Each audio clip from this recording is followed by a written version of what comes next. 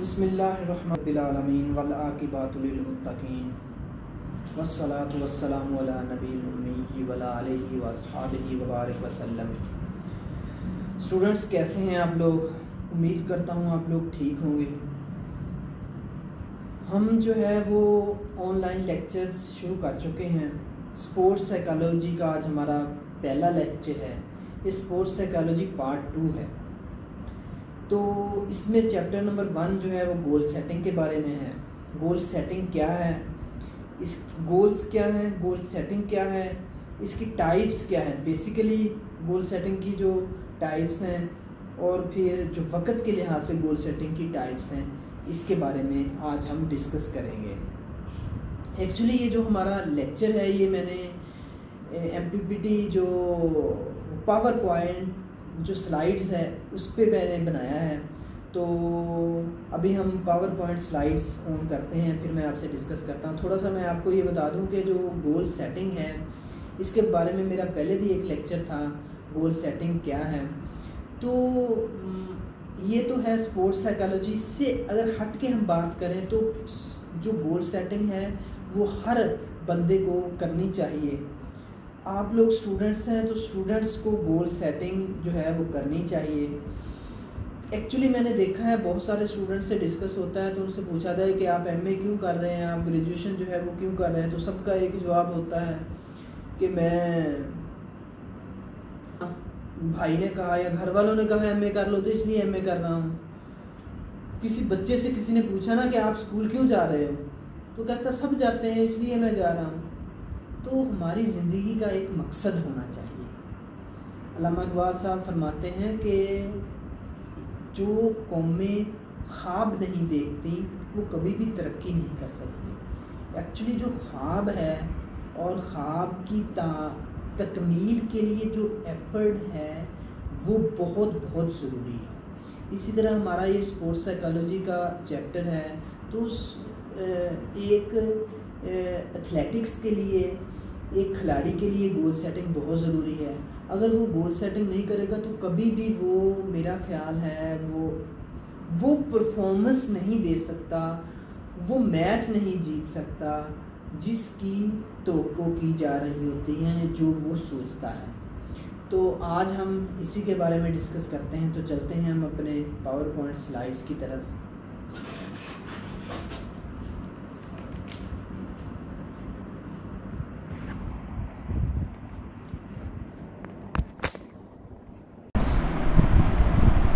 Actually एक खिलाड़ी के लिए गोल सेटिंग करना बहुत ज़रूरी होता है। जो खिलाड़ी को पता होना चाहिए कि वो क्यों खेल रहा है और इसका मकसद क्या है, इसके पीछे मकसद क्या है। एक्चुअली वो अपने जहन में कोई ना कोई एक मखसूस मकसद रखता होता है। अगर आप किसी भी खिलाड़ी से पूछें कि आप देखते हैं कि गर्मियों के दिनों में, सख्त गर्मी में, खिलाड़ी जो हैं वो पूरी धूप में प्रैक्टिस कर रहे होते हैं। अगर आप उनसे पूछें कि आपको गर्मी लग जाएगी या आपकी सेहत ख़राब हो जाएगी तो उनका जवाब होता है कि वो चैम्पियन तो बन जाएँगे, या वो नेशनल टीम इंटरनेशनल लेवल पर या नेशनल लेवल पर खेलने के लिए सिलेक्ट उनकी सिलेक्शन तो हो जाएगी। उनकी एक मखसूस गोल सेटिंग होती है। इस तरह हर खिलाड़ी के लिए ज़रूरी है कि उसकी गोल सेटिंग की जाए। और आपको ये मैं एक बात बता दूँ, इस गोल सेटिंग में खिलाड़ी और उसका कोच इन दोनों को शामिल किया जाना बहुत ज़रूरी है। एक किसी के भी, किसी के लिए भी जो है, वो कोई और गोल सेटिंग नहीं कर सकता, बल्कि वो खिलाड़ी खुद अपने आप के लिए गोल सेटिंग कर सकता है। और कोच जो है उसको इस गोल को अचीव करने में उसकी मदद कर सकता है। इस तरह हर खिलाड़ी का को कोई ना कोई मकसद ज़रूर होता है और इस मकसद के तयन करना भी बहुत ज़रूरी होता है। मकासद में एक्चुअली वक्त गुजरने के साथ साथ तब्दीली आती रहती है। मिसाल के तौर पर एक खिलाड़ी डिस्ट्रिक्ट लेवल पर खेलते हुए उसका ये ए, मकसद होता है कि प्रोविंशियल लेवल पर खेलें। जब वो वहाँ तक पहुँचता है तो फिर वो सोचता है कि वो नेशनल खिलाड़ी बनना चाहता है। तो इस मकसद की तकमील के लिए वो और मेहनत करता है, और मेहनत करता है। एक्चुअली ये मकसद, ये गोल सेटिंग ही एक ऐसी एक्टिव मोटिवेशन है उसके लिए जो उसको चैम्पियन बना देती है। और अगर गोल सेटिंग लाइफ में नहीं होगी तो कभी भी एक खिलाड़ी जो है, वो चैम्पियन नहीं बन सकता। इसी तरह मैं आपसे पहले भी मैंने डिस्कस किया था, आप लोग जो स्टूडेंट्स हैं, आपको अपनी गोल सेटिंग करनी चाहिए। आपको एक मकसद का तयन करना चाहिए। ये तो आपने अक्सर देखा होगा कि अगर किसी से भी पूछना कि आप एमए जो है, ये क्यों कर रहे हैं तो वो कहेंगे कि अब्बे ने कहा, या भाई ने कहा, या फलां ने कहा एमए कर लो। तो ये ऐसा बिल्कुल नहीं होना चाहिए। आपका एक मखसूस मकसद होना चाहिए।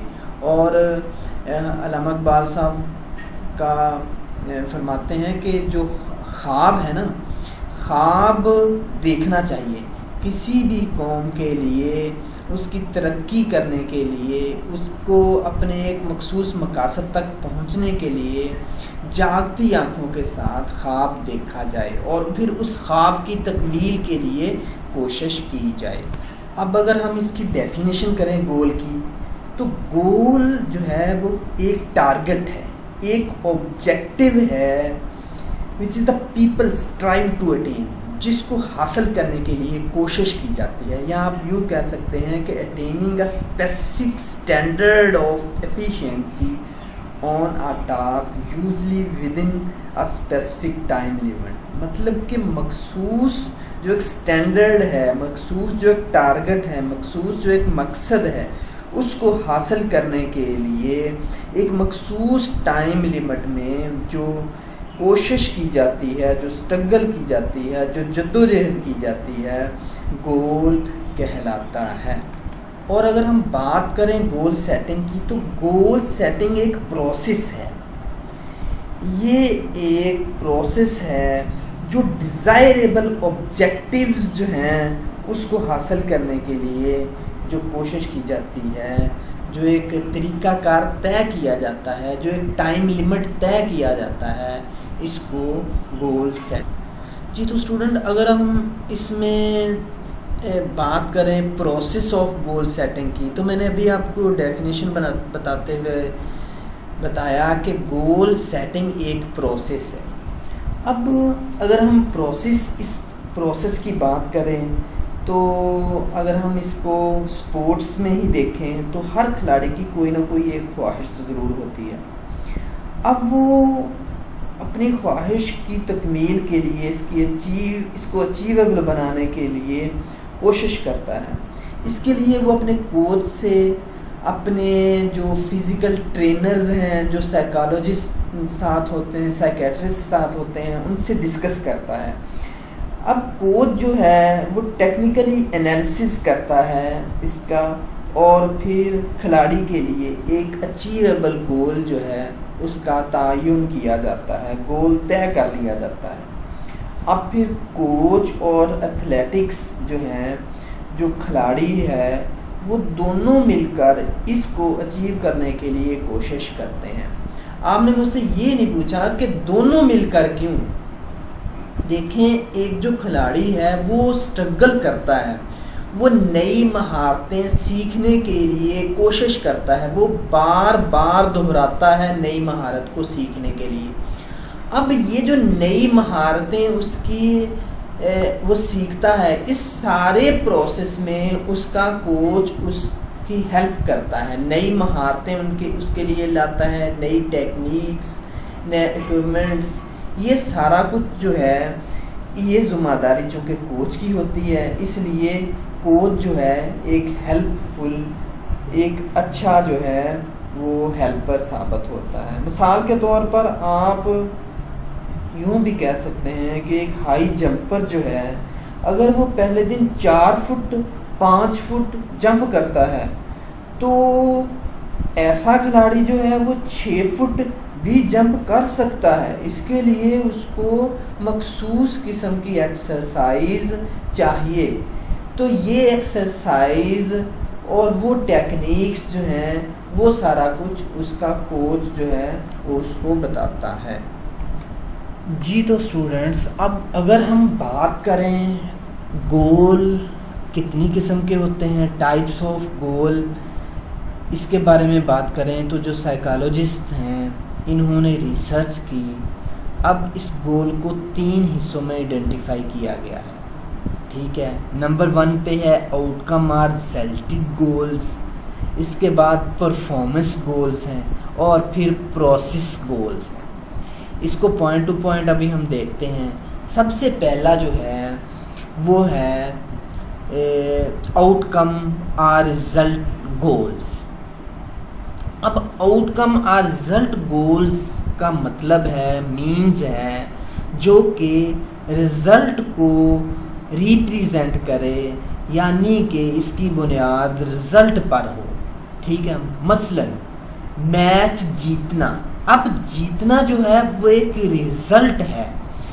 ठीक है? या बेस्ट एथलेटिक बनना। या इंटरनेशनल जो फॉर एग्जांपल एक खिलाड़ी जो है क्रिकेट का, वो पाकिस्तान का एक खिलाड़ी जो है, वो अगर एक मैच में बेस्ट जो परफॉर्मर है या मैन ऑफ़ द मैच जो है, बनना जो है, ये रिजल्टेड गोल्स कहलाते हैं या आउटकम गोल कहलाते हैं। इसके अलावा मिसाल के तौर पर मखालफ को शिकस्त देना या अभी जैसे थोड़ी देर पहले मैंने आपको एक मिसाल समझाई थी कि मसलन एक हाई जंपर जो है ना, वो पहले दिन चार फुट जंप करता है। अब उसका जो नेक्स्ट गोल है, वो फाइव फीट है या सिक्स फीट है। अब सिक्स फिट को अचीव करना, ये आउटकम गोल्स की मिसालें हैं। ठीक है? मिसाल के तौर पर अगर कोई कोच किसी खिलाड़ी के लिए कोई गोल सेट कर लेता है और इसने कि उसने टूर्नामेंट जीतना है। एक टूर्नामेंट जो है वो जीतना है। और खिलाड़ी भी इस गोल को, जो कि इसके कोच ने इस खिलाड़ी की रजामंदी के साथ, उसके साथ तय करके, उसके साथ डिस्कस करके, उसके साथ बातचीत करके तय किया है, इसको अचीव करने की कोशिश करता है। तो टूर्नामेंट में जो फतह है, इस खिलाड़ी के लिए वो आउटकम गोल कहलाती है। मेरा ख्याल समझ आ गई होगी, या आप इसको यूँ कह सकते हैं कि आउटकम गोल ज़्यादा बेहतर होते हैं, क्योंकि ये सिर्फ़ रिज़ल्ट पर ही जो बेस करते हैं। ठीक है? अब अगर हम बात करें परफॉर्मेंस गोल की तो आप इसको इंडिविजुअल गोल्स भी कह सकते हैं। मतलब कि हर खिलाड़ी के लिए फर्दन फर्दन, ये तय किए जाते हैं, इनका तयन किया जाता है। परफॉर्मेंस गोल जैसा कि नाम से भी ज़ाहिर है, ये एक खिलाड़ी की परफॉर्मेंस के मतलब होता है। मतलब कि खिलाड़ी की परफॉर्मेंस को बेहतर करने के लिए जो गोल सेट किया जाता है, वो परफॉर्मेंस गोल गोल्स कहलाते हैं। तो इसके लिए लाजमी होता है कि टीम का हर खिलाड़ी, उसकी जो परफॉर्मेंस है, उसके पास जो टेक्निक्स है, खेलने की टेक्निक्स है, उसके उसको बेहतर किया जाए, उसको पहले से बेहतर किया जाए परफॉर्मेंस गोल कहलाते हैं। या आप यूँ कह सकते हैं कि परफॉर्मेंस गोल का तल्लक मुकम्मल तौर पर खिलाड़ी के साथ होता है, उसकी ज़ात के साथ होता है। जी तो मेरा ख्याल इसकी समझ आ गई होगी। एक्चुअली जो परफॉर्मेंस गोल्स होते हैं, वो इंडिविजुअल परफॉर्मेंस के मतलब होते हैं। इसमें खिलाड़ी की जो एक खिलाड़ी की परफॉर्मेंस है, उसको बेहतर बनाने के लिए नई टेक्निक्स नए जो है चीज़ें उसको सिखाने के लिए, जो जो गोल्स तयन किए जाते हैं, वो परफॉर्मेंस गोल कहलाते हैं। अब अगर हम बात करें प्रोसेस गोल्स की तो प्रोसेस गोल्स एक्चुअली वो गोल हैं जिनका तल्लक उन मखसूस टेक्निक्स के मतलब होता है जो खिलाड़ी खेल के दौरान बुरुए कार लाता है। ठीक है? मिसाल के तौर पर एक खेल के दौरान जो टेक्निक्स यूज़ होती हैं, अब अगर आप इस मिसाल से समझें कि हॉकी खेलते हुए दोनों टीमों की तरफ़ से खिलाड़ी जो टेक्निक्स जो तरीकाकार बुरकार लाते हैं, उसको प्रोसेस गोल्स कहा जाता है।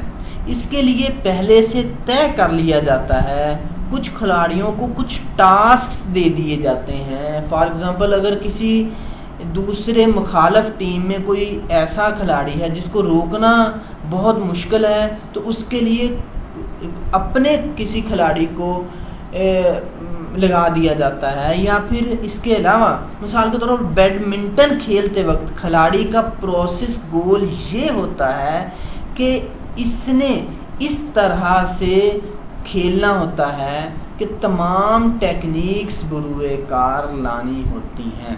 तो ऐसे गोल्स जो होते हैं, वो प्रोसेस गोल्स कहलाते हैं। तो स्टूडेंट्स मेरा ख्याल अब आपको ये बुनियादी टाइप्स हैं बेसिक्स टाइप्स हैं गोल सेटिंग की, ठीक है? ये तीनों आपको समझ आ गई होंगी। तो अभी हम गोल सेटिंग की टाइप्स देखते हैं। टाइम के लिहाज से, वक़्त के लिहाज से गोल सेटिंग की जो टाइप्स हैं, उसको देखते हैं। लेकिन उससे पहले मैं आपको एक मखसूस चीज़ या एक एक वो जिसको कहते हैं ना एक कुलिया देना चाहता हूँ जिससे आप जो है वो गोल सेटिंग के बारे में जान सकते हैं। जी तो स्टूडेंट्स मैंने ना आपको अभी जैसे बताया कि मैं आपको ना एक कुलिया देता हूँ। अब ए, आपने गोल सेटिंग जो है वो करनी है। वो किस तरह की होनी चाहिए? मैं इसको ना एक स्मार्ट अप्रोच कहता हूँ। मिसाल के तौर पर आप किसी को देखते हो तो वो बड़ा एफिशिएंट है या बड़ा तेज चला गया तो उसको स्मार्ट कहते हो तो गोल सेटिंग में जो स्मार्ट अप्रोच है ना, उसके बारे में ये मैं आपको चंद बातें बताता हूँ। इसको आपने जहन नशीन कर लेना है। गोल सेटिंग करते हुए ये जैसे मैंने अभी शुरू में बात की थी कि गोल सेटिंग जो है, वो सिर्फ़ ये स्पोर्ट्स साइकोलॉजी का है स्पोर्ट्स में ही नहीं, आपने अपनी ज़िंदगी में भी करनी है।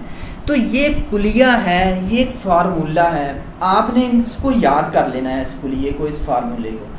ये आपको इन हमेशा काम देगा और जहाँ पर भी आपने गोल सेटिंग करनी है, इस स्मार्ट वर्ड स्मार्ट को जहन में रखते हुए मेरे इस फार्मूले को आपने जहन में रखते हुए अगर आप गोल सेटिंग करेंगे तो इनशाला वो आपकी गोल सेटिंग एक अच्छी गोल सेटिंग होगी और वो आपको फ़ायदा देगी। अच्छा इससे पहले मैंने एक और लेक्चर रिकॉर्ड किया था गोल सेटिंग के बारे में ही था। वो एक स्कूल में ट्रेनिंग के दौरान था तो मुझसे कुछ क्वेश्चंस किए गए कि गोल सेटिंग तो करते हैं, लेकिन उसको अचीव नहीं कर सकते। अचीव बाज़ अवत अचीव नहीं होती या जैसा गोल सेटिंग की जाती है तो वैसी वो नहीं होती। तो वहाँ पर मैंने ये फार्मूला डिस्कस किया था। अब मैं आप, आज आपके सामने ये फार्मूला डिस्कस करता हूँ। इनशाला आपको ये याद रहेगा।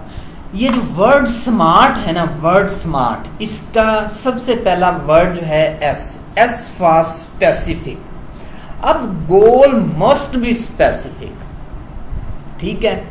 गोल मस्ट बी स्पेसिफिक आपका गोल कोई मखसूस पैरामीटर्स पर होना चाहिए। कुछ मखसूस चीज़ों का तयन करता हो, एक मखसूस मकसद का तयन करता हो। ये नहीं है कि एक से जायद गोल अच्छा गोल सेटिंग में सबसे पहली बात यह है कि एक से जायद गोल जो हैं वो उनका तयन कर लिया जाता, फिर एक भी अचीव नहीं होता। तो ये सबसे बड़ी गलती है गोल सेटिंग करते हुए स्पेसिफिक गोल होना चाहिए, मखसूस गोल होना चाहिए, जिसका, जो के, जिस पर आप, जिसको अचीव कर सकें। ठीक है? एस फॉर स्पेसिफिक और एम फॉर मैयरेबल अब गोल जो है मस्ट बी मैयरेबल मतलब गोल को मैयर किया जा सकता हो। अगर आप गोल को मैयर नहीं कर सकते तो याद रखिएगा, आप कभी भी गोल पर तवज्जो मरकूज नहीं कर सकते। मेरी बात समझ आई है ना? अगर आप गोल को मैयर नहीं कर सकते तो आप गोल पर तवज्जो नहीं कर सकते। अगर आप तवज्जो नहीं कर सकेंगे तो कभी भी आप गोल वो अचीव नहीं कर सकेंगे। एक खिलाड़ी के लिए ज़रूरी है कि वो गोल जो एक स्पेसिफिक गोल उसने जिसका तयन कर लिया है अब वो गोल जो है वो मैयरेबल होना चाहिए। ये नहीं होना चाहिए कि वो मैयरेबल मैयरेबल मीन है कि उसके लिए एक मखसूस टाइम पीरियड होना चाहिए। ए, ए, वो स्पेसिफिक होना चाहिए। तो अगर ऐसा नहीं है तो वो अपने गोल पर तवज्जो नहीं मरकूज कर सकेगा। अगर तवज्जो मरकूज नहीं कर सकेगा तो कभी भी अपना गोल अचीव नहीं कर सकता। ठीक है? और तीसरा है ए ए फॉर अचीवेबल आपका गोल ऐसा होना चाहिए जो अचीवेबल हो। अब अचीवेबल गोल्स कैसे होते हैं? मिसाल के तौर पर एक गली में खेलने वाला जो एक खिलाड़ी है, वो कहे कि मैं जाके इंटरनेशनल लेवल पर खेलूँगा, या ऐसा कुछ वो सोचे, या फिर कोई ऐसी हवाई जो है, वो किला तामीर करना चाहता हो, या कुछ ऐसी चीज़ें वो सोच ले जो मुमकिन ही ना हो, जो अचीवेबल भी ना हो तो ऐसे गोल्स कभी भी मेच्योर नहीं होते, ऐसे गोल कभी भी नहीं मिलते, ये ज़रूर आपको नुकसान पहुंचाते हैं, ठीक है? तो गोल के लिए ज़रूरी है कि वो अचीवेबल हो। और जो सेकंड जो नेक्स्ट चीज़ है, वो है रियलिस्टिक होना चाहिए। वो रियल होना चाहिए। अब गोल जो है मतलब कि वो जो खिलाड़ी है, उसकी सेहत, उसकी मौजूदा अहलियत और उसका बैकग्राउंड उसका मेंटल लेवल इन सारी चीज़ों को मद्देनज़र रखते हुए और उसके पास जो अपॉर्चुनिटीज़ हैं और जो उसके पास मौजूदा उसकी अहलियतें हैं, उसके मुताबिक अगर गोल नहीं होगा तो वो कभी भी अचीव नहीं हो सकता। गोल के लिए ज़रूरी है कि वो रियल होना चाहिए। मतलब कि ऑन द ग्राउंड होना चाहिए। मतलब कि वो रियल बेसिस पर रियलिस्टिक होना चाहिए। अब अगर एक खिलाड़ी है उसका वो डब्ल्यू डब्ल्यू में जाना चाहता है, वो खेलना चाहता है वो बॉक्सिंग खेलना चाहता है। तो वो अब गोल बना ले कि मैंने बहुत जो एक इंटरनेशनल लेवल का प्लेयर है, उसके साथ खेलना है। तो वो, उसके पास वो अहलियत ही नहीं है, वो, उसका वेट वो नहीं है, उसकी सेहत वो नहीं है तो वो कभी भी नहीं खेल सकेगा, ठीक है? तो आप जो स्टूडेंट्स हैं, आपने भी अपनी लाइफ में कोई भी गोल सेट करना है तो वो जो है, वो रियल बेसिस पे होना चाहिए। मिसाल के तौर पर, अब आप एमए कर रहे हैं। आपकी एज क्या होगी? ट्वेंटी के राउंड अबाउट होगी। अब अगर आप अचीव का गोल ये सेट कर लेते हैं कि मैंने दो साल बाद एफएससी करके और मैंने जनाब डॉक्टर बनना है तो बाबा एमए से आप पीछे बीए में आओगे ग्रेजुएशन में आओगे, और फिर बीच पीछे एफएससी में आओगे। नहीं नहीं, बाबा, ऐसा नहीं होगा। जो जो वक्त गुजर गया, वो गुजर गया। अब आप आगे के लिए तो गोल सेटिंग कर सकते हैं, पीछे के लिए नहीं कर सकते। या फिर आप यूँ समझ सकते हैं कि आप एमए तो इस्लामिक स्टडी या पाक स्टडी या ये कर रहे हैं, और गोल सेटिंग ये कर लें कि मैंने फ़ौज में जीडी पायलट के लिए या इस तरह के कोई जॉब के लिए अप्लाई करना है तो वो तो ऐसा नहीं होगा। उसके लिए एक मखसूस पैरामीटर्स हैं। उन पैरामीटर्स को मद्देनजर रखते हुए आपने गोल सेटिंग करनी है। अदरवाइज़ आपका गोल जो है वो कभी भी अचीव नहीं होगा। और लास्ट चीज़ है टाइम एक बात अपने जहन में बैठा लें। गोल के लिए, गोल सेटिंग के लिए टाइम पीरियड मखसूस होना ज़रूरी है। अगर आप टाइम पीरियड मखसूस नहीं करते तो कभी भी गोल सेटिंग नहीं कर सकते। सिंपल सी बात है वेरी वेरी सिंपल सी बात है। एक नाइन क्लास का बच्चा जो है, वो अगर ये गोल सेटिंग करता है कि मैंने डॉक्टर बनना है तो उसको लिए, उसको ये ज़रूरी है उसके लिए कि वो इन चीज़ों का तयन कर ले कि मैंने एफएससी के बाद मेडिकल में जाना है। अब ये नहीं है कि वो छः साल का अरसा गुजार दे ग्रेजुएशन और एमए में पहुँच जाए और फिर सोचे कि मेरा गोल ही कंप्लीट नहीं हुआ। तो गोल सेटिंग के लिए टाइम पीरियड बहुत ज़रूरी है। एक खिलाड़ी के लिए टाइम पीरियड बहुत ज़रूरी है। उसको फिर जब वो टाइम पीरियड तयन कर लेगा ना, एक स्पेसिफिक टाइम पीरियड बना लेगा तो फिर उसको, उसी के लिहाज से एफर्ट करनी पड़ेगी। तो तभी जाकर आपका वो गोल जो है, वो अचीव हो सकता है। अदरवाइज़ आप ये गोल अचीव नहीं कर सकते। तो ये एक स्मार्ट अप्रोच है। ये एक ऐसा फार्मूला है, आप लाइफ में कहीं कहीं पर भी हों मैं ये ये नहीं कहता कि आप आप खिलाड़ी ही हों।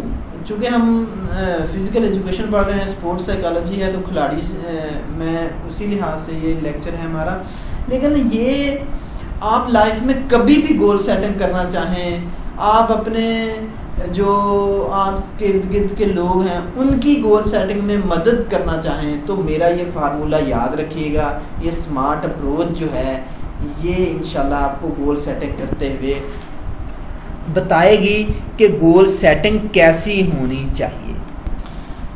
जी तो स्टूडेंट्स अब हम बात करते हैं goal setting types of goal setting वक्त के लिहाज से जो गोल सेटिंग की एग्ज़ाम है, उसके बारे में बात करते हैं। टाइम के लिहाज से जो गोल सेटिंग की एग्ज़ाम है, ये भी तीन तरह की होती हैं। शॉर्ट टर्म गोल्स हैं एस है, और इंटरमीडिएट गोल्स हैं। आईजी है और एलटीजी है लॉन्ग टर्म गोल्स ये तीन तरह के गोल्स होते हैं जो कि टाइम के लिहाज से, वक्त के लिहाज से जो इसकी एग्ज़ाम है। सबसे पहले हम बात करते हैं शॉर्ट टर्म्स गोल जब भी कोई गोल तय किया जाता है तो इसकी मुद्दत भी मुद्दत भी जो है, उसका भी तयन कर लिया जाता है कि ये गोल कितनी मुद्दत के लिए है। सिंपल सी बात है, एक सादा सी बात है। अगर एक नाइन क्लास का या टेंथ क्लास का बच्चा जो है डॉक्टर बनना चाहता है तो उसके लिए डॉक्टर बनना उसका लॉन्ग टर्म गोल है, ठीक है? उसका लॉन्ग टर्म मतलब कि मंजिल पर पहुँचना जो है, वो उसका लॉन्ग टर्म गोल है। अब मैं डॉक्टर बनने के लिए एफएससी करनी पड़ती है एफएससी के लिए नाइन टेंथ अब नाइन टेंथ जो है वो इंटरमीडिएट गोल है. या नाइन में जो 90 परसेंट या 80 परसेंट मार्क्स के लिए वो गोल सेट करता है तो वो उसका शॉर्ट टर्म गोल है. मिसाल के तौर पर अगर उसने डॉक्टर बनना है ना तो उसके लिए ज़रूरी है कि वो नौवीं में, आठवीं में ये तयन कर ले, ये गोल सेट कर ले कि मैंने आठवीं के एंड पे 80 परसेंट नाइन्टी परसेंट मार्क्स लेने हैं. अगर वो नाइन में ये एट में ये तयन करेगा कि मैं एट के एंड पे एटी परसेंट या नाइन्टी परसेंट मार्क्स लेने हैं, फिर नाइन में ये तयन करेगा, फिर टेन में ये तो फिर ही वो डॉक्टर बन सकेगा।